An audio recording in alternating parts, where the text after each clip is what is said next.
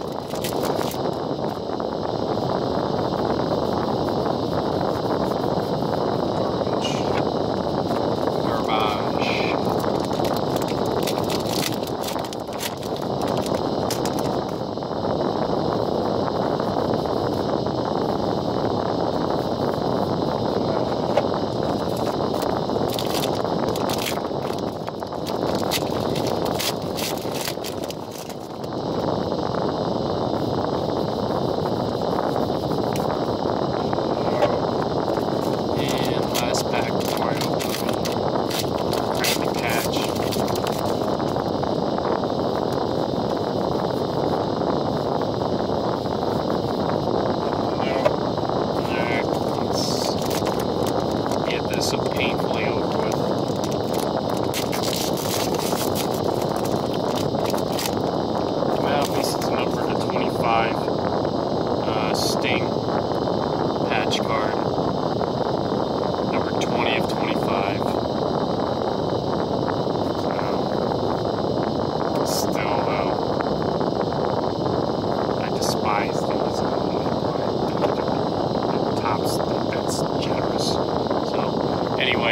got we got one more box I have to open that one. Probably tomorrow when it's a little bit lighter out because